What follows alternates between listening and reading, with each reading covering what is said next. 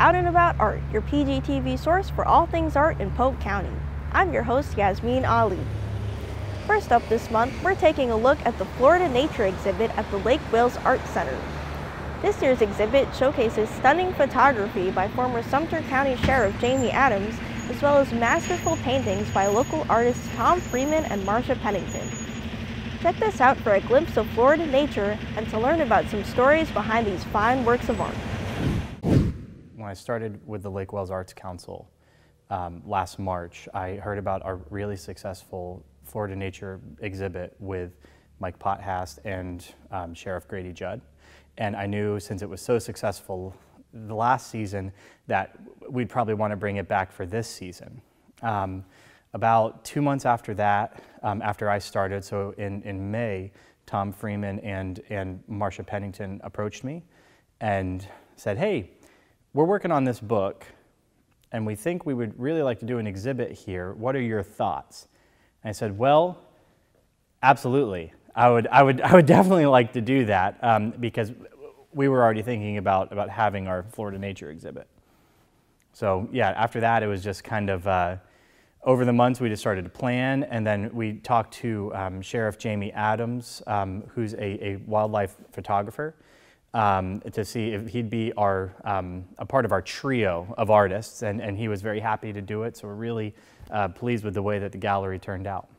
Uh, Andrew Allen, the director of the Art Center here, uh, told us about the nature exhibit and invited uh, three of us to exhibit our work here. Uh, he knew about Tom Freeman and his work with uh, nature paintings. And uh, Tom is my biggest advocate. And he said, well, you know, Marcia Pennington paints nature also. And could she be in the show also? So uh, I came in on his coattails. 19 and, and uh, 44 was a long time ago. And those were the days that I began painting. And my first paintings were done with a Dr. Uh, Bowden, and um, they were done with, uh, with a, a, different type of paint. And then acrylic came out in the early 19, well, I think about 1940 or 50, acrylic paint came on, on the market. And that was an absolute beautiful way of, of painting. I did oils and I did uh, um, watercolor. And, and, but the, when the acrylics came out, I really went for that big time. And these are acrylic, this is an acrylic paint. And, and by the way, it will just last forever. It will just last forever. Most of the paintings that you see here are paintings that I've gone out and located and painted, like the three on the wall over there. Those are three paintings that were left by the people who owned the property to their son. Most of the people that um, buy my paintings like to have a place that they've seen or been to or someplace that they really like. Um, like the painting that's at the far end of the building there. That's with turkeys, and it's a place where it's called Cypress Cathedral. Those cypress trees are, are very, very popular in that particular area. And uh, they um, were par partially blown down in the last hurricane we had in 06. They're very popular. That's the Wild turkeys are very popular in that area, and those gathered around while I was doing the painting, and it was fun. It's fun to see the, the turkeys. I have uh, been painting for about six years uh, with uh, Tom, and of course, since he paints nature, I've been painting nature. So uh, I've been going through some phases. Uh, I did a series of bird pictures all uh, mostly the big birds that live near where I live.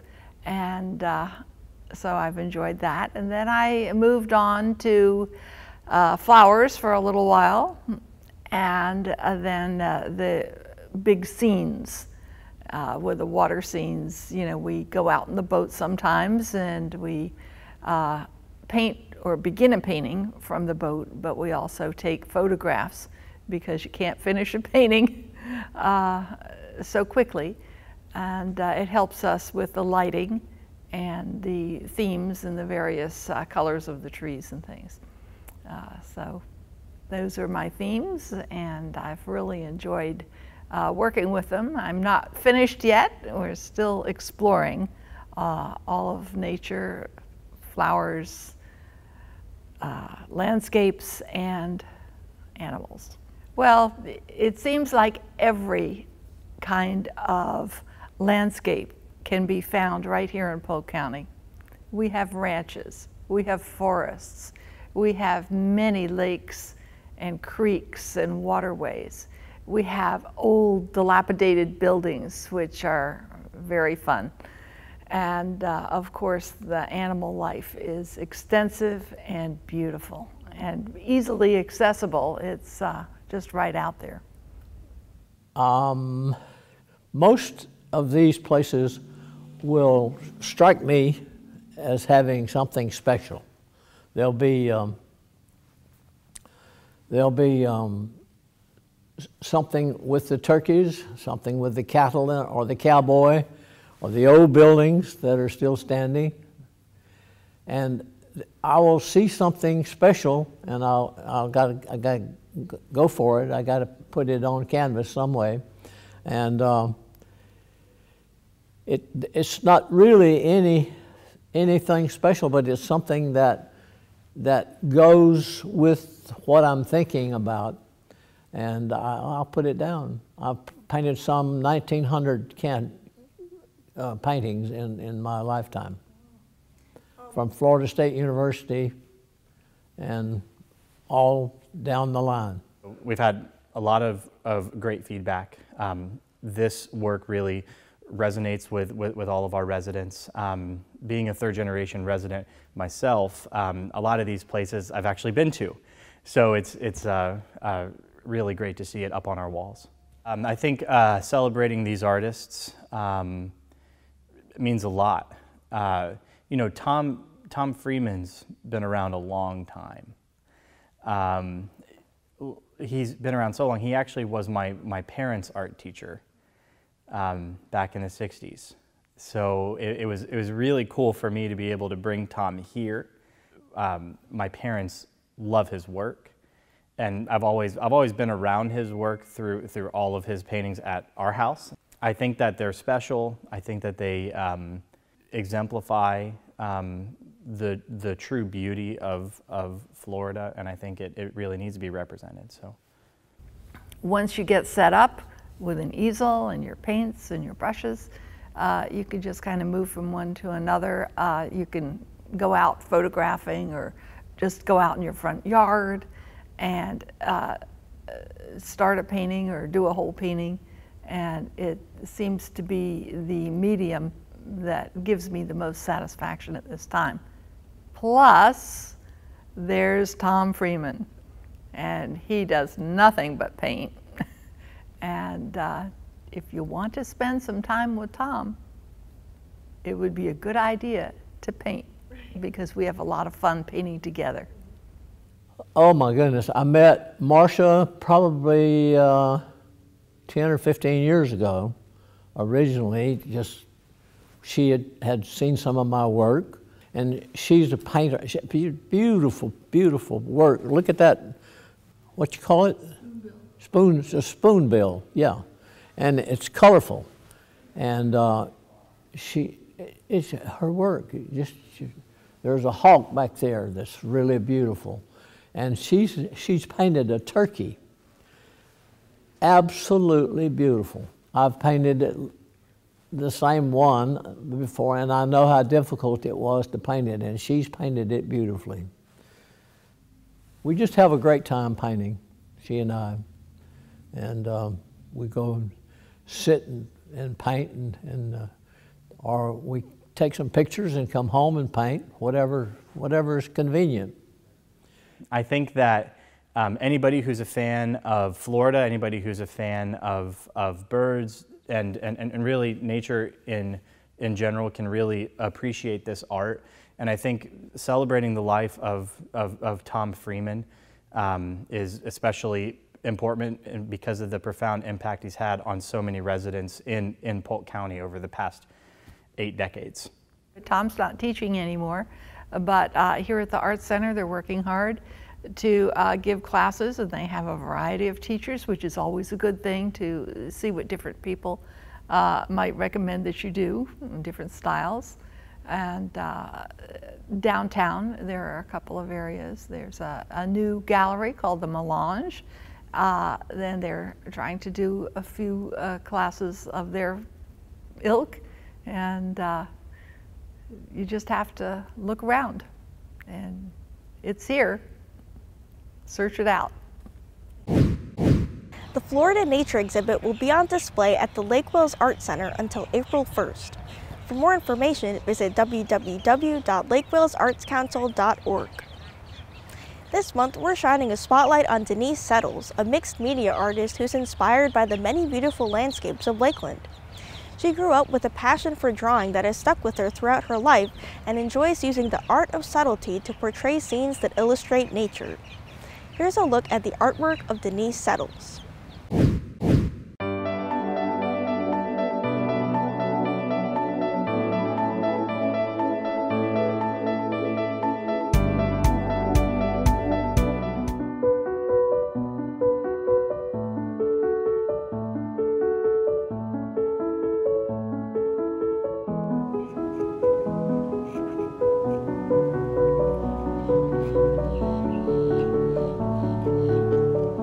Um, I'm Denise Settles and I like to do, um, the, well, I do watercolor and ink right now. And so it, it's transitioned over time. Uh, I started uh, in oil paints, um, then I moved to acrylics, um, and so, and now I'm at watercolor and ink. And so, so it's nice having those transitions. I, uh, so I'm a fan of all mediums,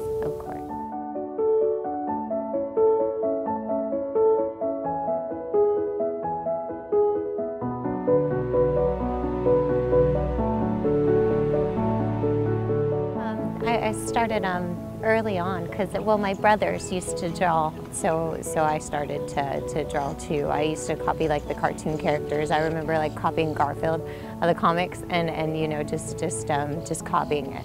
And so I think, um, gosh, I was probably you know seven, eight years old. I used to how I made friends was um, my friends would like to draw too and we used to have little drawing contests and I remember drawing like horses and uh, you know unicorns and stuff like that because I'm very shy um, and so that was a way like to to communicate with others um, would be through drawing and it just stuck with me all my life.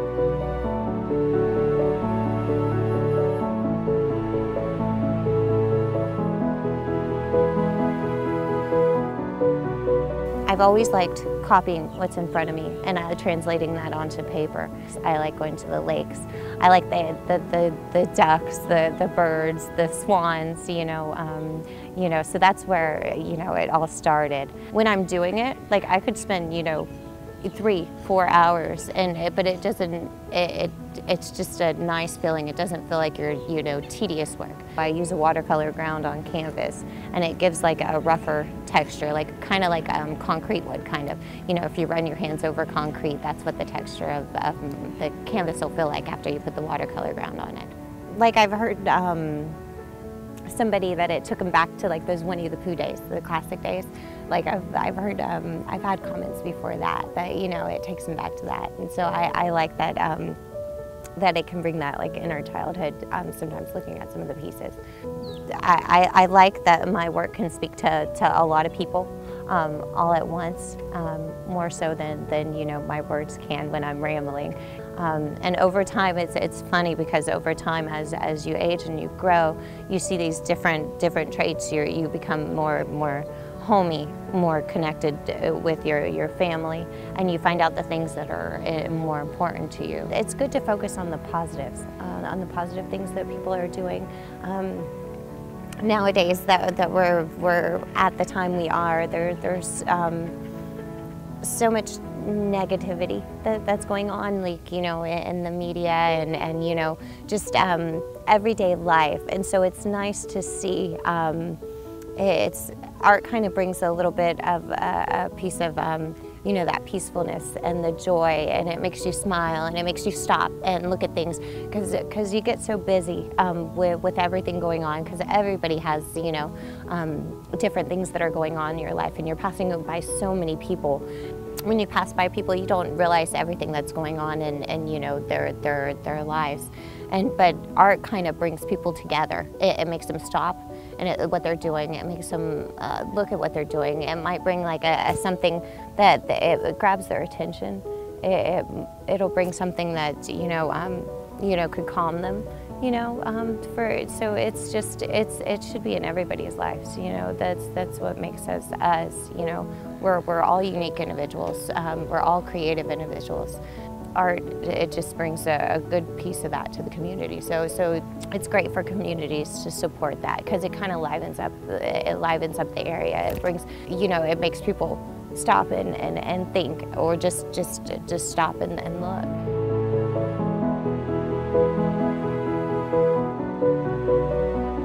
I believe um, that everybody can, can do something. And, and if everybody I, I, believe that it just it's patience. It takes patience and the time to, to do it. And it's it's like one of those things like, you know, you're learning to walk, you're learning to talk, you're you're you're learning like a new sport or, or you know, you're you're studying in school. It's it's one of those things you, you get it little by little. And so nobody starts out like, you know, as you know, Da Vinci or, or you know, uh, as, you know, a master artist. It, you, you just have to have a passion for it. And you just do a little bit every day, a little bit every day. And if it's one of those things that you enjoy um, to do, and if it, it, it, just draws you in and you find yourself doing it um, often, um, just make the time for it because because it, it's um, it's it, it, really brings a good piece to, to, to life. It, it does.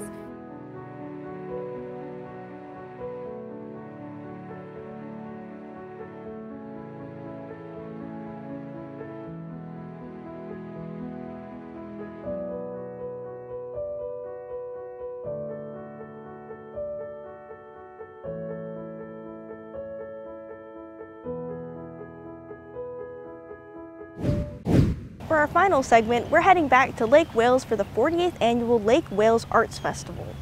Hosted by the Lake Wales Arts Council, this 47-year-old tradition featured over 100 participants this year who competed for more than $22,000 in prizes. The history and diversity of this festival attracts thousands of visitors each year who are looking for that original, one-of-a-kind piece of art to add to their collection. Check this out to take a look at some of the works of art for yourself and meet some of the creators behind this year's event.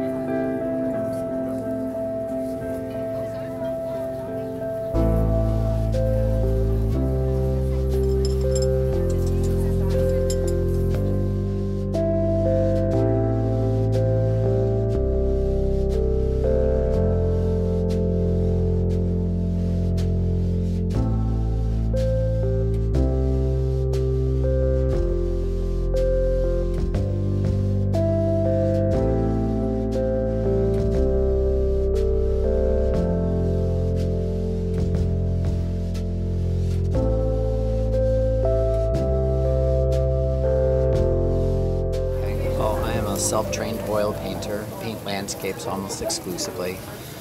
Um, inspired by the 19th century Hudson River School and Luminism uh, movements, as well as um, painters from the Dusseldorf School in the 1800s. So all of my influence comes from the 1800s. 1800s. Um, here at the festival, it's a festival I've done for a long time. I love the little community of Lake Wales and I have lots of friends here, so that's the main reason that I'm here. I have always been impressed by um, the imagination and the fortitude and just the handling of light by those 19th century uh, painters.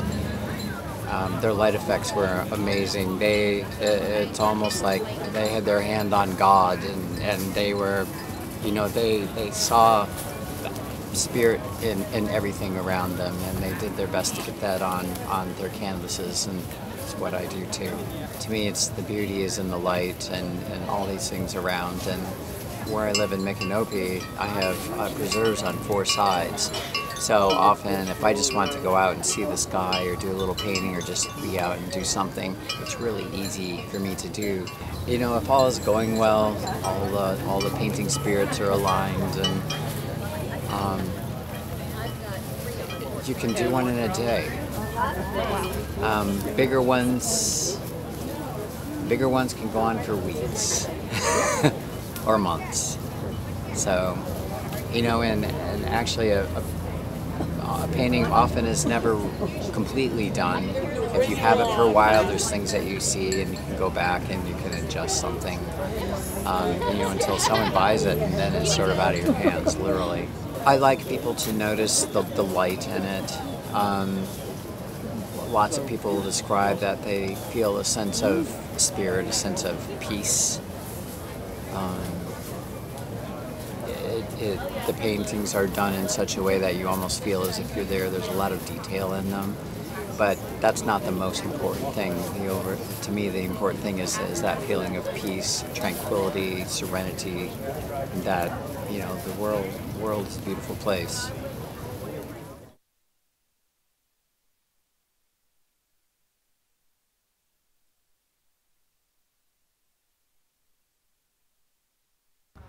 Well, I do photography, wildlife, nature. Uh, I love it. It's my passion. Um, I'm retired, and so I have a lot of time to do it. Um, probably about 15 years. I've been kind of serious about photography. Applied for it last year, and we got in. And we got in again this year, and we really enjoy it. It's a good, it's a good show. I'm from originally from Ludington, Michigan, and we live in Sebring now, and we still travel back to Michigan all summer and, and various other places when we can. Well, we used to do a lot of shows in Michigan, so we have a lot of Michigan photos, but they're a lot different than they wouldn't sell probably too well here. Um, so we do a lot of Florida photography here, uh, mostly wildlife, um, birds and such. And then we travel. I love the West. I love the mountains and that's where, you know, we, that's where I enjoy doing photography the most. You know, we went to Alaska last summer, and that was enjoyable. Well, I probably had too long of a lens on some of these bear shots from Alaska, because uh, I, the, the guide that we had, the pilot, he was a pilot and guide that we had take us into Katmai National Park where the bears, the Alaskan brown bears are. He asked, asked me when he saw my camera equipment, he says, how close do you really need to get? I said, well, I'd like to get within 20 feet. And lo and behold, that's how close we got in a lot of cases. Well, the bears initially were further away, but they worked their way right towards us. Just maybe curiosity, I don't know, but we got some pretty close shots. I'd say some of the photos are, are just, took only about 20 seconds to do you know? And some of them took weeks to sit someplace and watch an eagle come in for the perfect shot and the perfect light. So it can take weeks, months, um, or just in an instant. So mainly I, I, I, actually like looking at it more than I do taking pictures of it. To appreciate if it's an animal, appreciate that animal, you know, what it's got to do to survive and, and a, a, a landscape scene, you know, maybe you can't ever get there and see it yourself, but you know, there it is in front of you. Might inspire you to go see it. I mean, It's only made once. You can't re reproduce it, not even in a picture. So.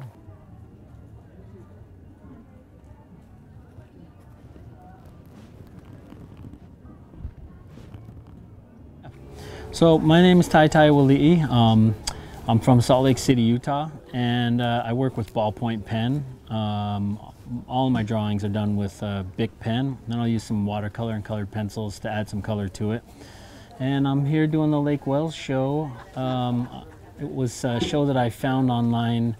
Um, I was actually doing a show in uh, Miami. I was doing Coconut Grove show in Miami last weekend, and I'm from Salt Lake City, so driving all the way to Florida just to do one show uh, doesn't make that much sense. But I found the show and I read into it, and it seemed like a fun show for me to do. My work um, sort of sticks out like a sore thumb at a show like this, but I, I usually like to do that. I like to go to shows where you wouldn't expect to see me. Um, and people have an appreciation for it. They see it and they go, oh, wow, this is so different. It's something I didn't realize existed. So initially it started um, in elementary school. I, um, the sound of pencil on paper was like fingernails on a chalkboard. So it was so overwhelming to me that I ha just had to use a pen. So it was, um, uh, using a pen was just more pragmatic. So that was where it started. I just used a pen and for all my schoolwork and everything instead of using a pencil, and I just became used to it. And then I, I've always been drawing, so all my style and all my work has always been based around a ballpoint pen. And I've just liked it. I know how the pen works. I know what it's going to do, and it's uh, kind of my style, so I've just stuck with it. Um, so I pull a lot of uh, my energy and uh, concepts from my youth when I grew up in the early 80s and uh, I watched a lot of movies and listened to a lot of music and that energy that I had at that time that I was full of teenage angst and I find that a good tool to um, uh, for expression so I'm able I'm 41 years old now so I'm, I'm distant from that energy, but I'm able to tap into that by using music. So the music that I listened to when I was growing up. So I turn on music and I'll, I'll tap into that energy. I don't have that much angst anymore, but that that angst energy is was a the foundation of my style. So I, I'll always be able to tap into that. For me, I'm I think I just like people to think um, and sometimes people have a negative feeling towards my work, but I, I don't mind that either. I, as long as I'm, I'm evoking some sort of emotion, I, I think too many people just aren't um, uh, looking into themselves and, and uh, having feeling anymore. And I think that's what I'd like. I, am happy when people come by and even when they say, this isn't my style. I wouldn't necessarily like. I don't necessarily like this kind of work, but it's made me think, and uh, for me, that's that's all I I really care about. As long as people are thinking. This year's Lake Wales Arts Festival was a great success. For more information on events hosted by the Lake Wales Arts Council, visit www.lakewalesartscouncil.org. Well, that's all I have for this month, but there's always plenty going on within the Polk County art scene. Stay tuned for a list of art events in your area. Thank you for joining me, and I'll see you next time for more art out and about.